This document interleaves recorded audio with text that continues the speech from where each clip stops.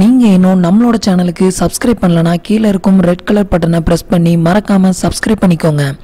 கூடவே வர்ற bell ஐக்கான்ஸையும் click பண்ணிட்டீங்கன்னா நம்ம சேனலில் வரக்கூடிய எல்லா வீடியோஸுமே மிஸ் பண்ணாமல் பார்க்கலாம். ஃப்ரெண்ட்ஸ் இன்னைக்கு நம்ம சேனலில் ஒரு யூஸ்ஃபுல்லான வீடியோ பற்றி பார்க்கலாம். இன்னைக்கு நம்ம சேனலில் பார்க்க போகிற டாபிக் என்ன அப்படின்னு பார்த்தீங்கன்னா ஆன்லைன் மூலமாக எப்படி நம்ம பஜாஜ் இஎம்ஐ கார்டுக்கு அப்ளை பண்ணுறது அப்படிங்கிற டீட்டெயிலை பற்றி தான் இந்த வீடியோவில் பார்க்க போகிறோம் நீங்கள் வந்துட்டு பஜாஜ் கார்டு வந்துட்டு எடுக்கணும் அப்படின்னா ஃபஸ்ட்டு நீங்கள் வந்து ஆன்லைனில் ரெஜிஸ்டர் பண்ணணும். ஆன்லைனில் ரெஜிஸ்டர் பண்ணிவிட்டு அதுக்கப்புறம் வந்துட்டு நீங்கள் வந்து ஃபிசிக்கலாக டாக்குமெண்ட்டை வந்து சப்மிட் பண்ணும்போது நீங்கள் ஈஸியாக பார்த்தீங்கன்னா அவங்க இந்த பஜாஜ் கார்டை வந்துட்டு நீங்கள் வந்து எடுத்துக்கலாம். இந்த பஜாஜ் கார்டு வந்துட்டு உங்களுக்கு ஃபிசிக்கல் கார்டு வரதுக்கு லேட் ஆனாலும் உங்களுக்கு வந்துட்டு மியூச்சுவல் கார்டை வந்துட்டு மியூச்சுவல் கார்டை நீங்கள் ஆன்லைன்லேயே அடுத்த செகண்டே நீங்கள் வந்துட்டு ஈஸியாகவும் டவுன்லோட் பண்ணிக்கலாம்.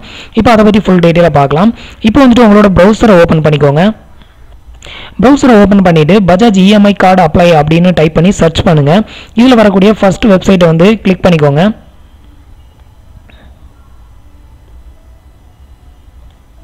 நெக்ஸ்ட் பார்த்தீங்கன்னா உங்களுக்கு இது மாதிரி தான் பேஜ் வந்து ஓப்பன் ஆகும். இந்த பேஜில் பார்த்தீங்கன்னா உங்களுக்கு செக் யுவர் ஆஃபர் அப்படின்னு ஒரு ஆப்ஷன் கொடுத்துருப்பாங்க.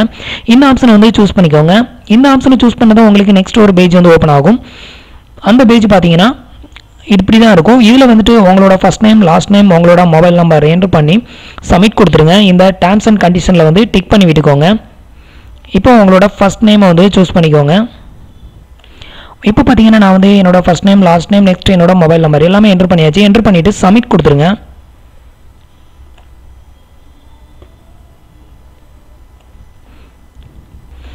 இப்போ பார்த்தீங்கன்னா உங்களோட ரிஜிஸ்டர் மொபைல் நம்பருக்கு ஒரு ஒன் டைம் பாஸ்வேர்டு ஒன்று ரிசீவ் ஆகும். இந்த ஒன் டைம் பாஸ்வேர்டை வந்து இதில் என்ட்ரு பண்ணிக்கோங்க. என்ட்ரு பண்ணிவிட்டு சப்மிட் கொடுத்துருங்க. இப்போ பார்த்தீங்கன்னா நான் வந்து என்னோட ஒன் டைம் பாஸ்வேர்டை என்ட்ரு பண்ணியாச்சு. என்ட்ரு பண்ணி இப்போ நான் சப்மிட் கொடுக்குறேன். நெக்ஸ்ட் பார்த்தீங்கன்னா உங்களுக்கு இது மாதிரி தான் பேஜ் வந்து ஓப்பன் ஆகும். இதில் பார்த்தீங்கன்னா நீங்கள் பர்சனல் லோனுக்கு அப்ளை பண்ணுறீங்களா இல்லை பிஸ்னஸ் லோன் இல்லை இஎம்ஐ நெட்ஒர்க் கார்டுக்கு அப்ளை பண்ணுறீங்களா அப்படின்னு மூணு ஆப்ஷன் இருக்கும். இந்த ஆப்ஷனில் பார்த்தீங்கன்னா நீங்கள் இஎம்ஐ நெட்ஒர்க் கார்டு அப்படிங்கிறதுல அப்ளை நான் கொடுத்துருங்க.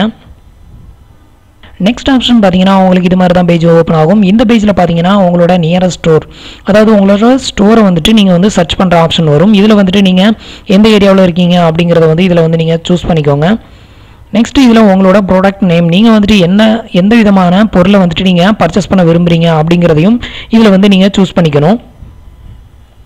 இப்போ உங்களோட சிட்டியை வந்து செலக்ட் பண்ணிக்கோங்க. நெக்ஸ்ட் உங்களோட ப்ராடக்ட் நேம் நீங்கள் வந்து என்ன பொருளை வந்துட்டு வாங்க விரும்புகிறீங்க அப்படிங்கிறத வந்துட்டு அதாவது நீங்கள் இப்போ பக்கத்தில் வந்து இப்போ ஒரு ஏர் கண்டிஷனர் நீங்கள் வாங்கணும் அப்படிங்கிறதுலாம் அவசியம் கிடையாது. இப்போ எக்ஸாம்பிளுக்கு வந்துட்டு நீங்கள் பக்கத்தில் உங்களுக்கு பர்னிச்சர் கடை ஏதாவது நிறைய இருக்குது அப்படின்னா அந்த கடையில் எங்கேயாவது பஜாஜ் ஏஜென்ட் யாராவது இருக்கிறாங்களா அப்படிங்கிறது தான் இது வந்து சர்ச் பண்ணி கொண்டு வரதுக்கான ஒரு ஆப்ஷன் தான். இப்போ எக்ஸாம்பிளுக்கு பார்த்தீங்கன்னா நான் வந்துட்டு இப்போ கேமரா வந்து சூஸ் பண்ணுறேன் இப்போ வந்து கேமரா வந்து பக்கத்தில் கேமரா ரிலேட்டடான ஏதாவது ஸ்டோர் இருந்தது அப்படின்னா உங்களுக்கு அது ரிலேட்டடான அட்ரஸ் எல்லாமே பார்த்தீங்கன்னா இதில் உங்களுக்கு கீழே வந்து டிஸ்ப்ளே ஆகும். இப்போ பார்த்தீங்கன்னா நியரஸ்ட் ஸ்டோரோட நேம் எல்லாமே இதில் வந்து உங்களுக்கு டிஸ்ப்ளே ஆகும். இதில் நீங்கள் இந்த ஸ்டோருக்கு நீங்கள் வந்து டேரெக்டாக நீங்கள் விசிட் பண்ண வேண்டியிருக்கும். டேரெக்டாக நீங்கள் போயிட்டு உங்களோட ஃபிசிக்கலாக உங்களோட டாக்குமெண்ட்டை வந்து நீங்கள் சப்மிட் பண்ணணும். உங்களோட ஆதார் கார்டு உங்களோட பேன் கார்டு நீங்கள் கரண்ட் அட்ரஸில் இருக்கிறதுக்கான ஒரு ப்ரூஃப் அட்ரஸ் ப்ரூஃப் ஒன்று நீங்கள் வந்து சப்மிட் பண்ண வேண்டியிருக்கும் நெக்ஸ்ட் உங்களோட த்ரீ மந்த் பேங்க் ஸ்டேட்மெண்ட் ஒரு ரெண்டு பாஸ்போர்ட் சைஸ் ஃபோட்டோ இவ்வளோத்தையும் நீங்கள் வந்து கொடுத்துட்டீங்க அப்படின்னா உங்களுக்கு வந்து ப்ராசஸிங் ஃபீஸ் பார்த்தீங்கன்னா five hundred rupees five hundred ருபீஸ்லேருந்து நீங்கள் ஒரு நைன் ஹண்ட்ரட் ருபீஸ்க்குள்ளே வந்து இருக்கும். நீங்கள் வந்து இந்த அமௌண்ட்டை வந்து பே பண்ணிட்டீங்க அப்படின்னா அதுக்கப்புறம் பார்த்தீங்கன்னா உங்களுக்கு அடுத்த செகண்ட்லேயே அவங்க வந்துட்டு அந்த டாக்குமெண்ட்டை ஆன்லைனில் அப்லோட் பண்ணி விட்டுட்டு உங்களுக்கு வந்து ஃபிசிக்கலாக வீச்சுவல் டா வீச்சுவல் கார்டை வந்துட்டு அவங்க ஆக்டிவேட் பண்ணி கொடுத்துருவாங்க. அதுக்கப்புறம் பார்த்தீங்கன்னா நீங்கள் வந்துட்டு உங்களோட மொபைல் ஃபோனில் வந்துட்டு ஒரு அப்ளிகேஷன் இருக்குது.